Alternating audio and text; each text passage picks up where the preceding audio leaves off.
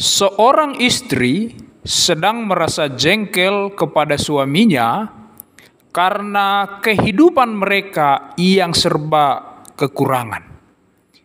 Istri berkata, "Kenapa sih kamu nggak bilang dari dulu kalau kamu semiskin ini?" Hah? Suami menjawab, "Aku kan udah bilang sayang, tapi kamu aja yang gak dengar dan gak ngerti." Istri berkata, "Emang dari dulu kamu bilang apa ke aku?" Bertanya dengan penuh penasaran.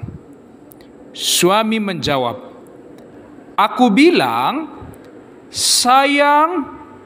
Cuma kamu satu-satunya yang kumiliki dan kupunya di dunia ini.